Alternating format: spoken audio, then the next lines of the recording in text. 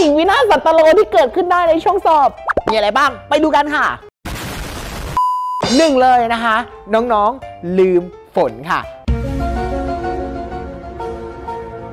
ไม่ว่าจะลืมฝนชื่อตัวเอง ฝนเลขที่นั่งนะคะ เขียนรายละเอียดนู่นนี่นั่นนะคะ ต้องระวังนะคะเด็กๆดูให้ดีว่าต้องเขียนต้องฝนอะไรบ้าง หรือบางคนมี 50 ข้อฝนไป 40 อีก 10 ข้อลืมฝนก็อย่าลืมนะคะ อย่างที่ 2 ค่ะ แก๊งที่ลืมเรื่องของระเบียบค่ะน้องบางคนลืมไปว่าเฮ้ยต้องแต่งชุดยังไงนะ ชุดต้องแต่งไหมไอ้นี่ต้องเอาเข้าได้หรือเปล่า น้ำนาฬิกาดิจิตอลอะไรพวกนี้นะคะนำมาสู่ข้อที่ 3 ค่ะ นั่นคือลืมเวลาค่ะ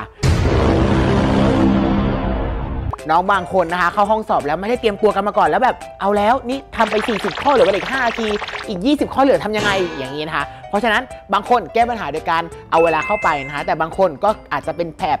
จำได้ว่าทำประมาณเนี้ยเวลากำลังดี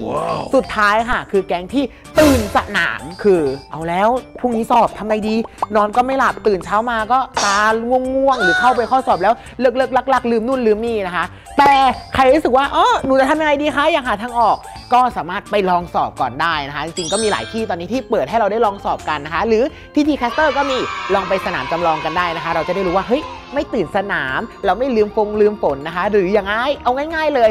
ลืมในสนามจำลองดีกว่าลืมในสนามจริงนะคะ ใครสนใจก็ไปสมัครกันได้ มีรอบออนไลน์ด้วยนะคะ เออยังเปิดอยู่เนาะ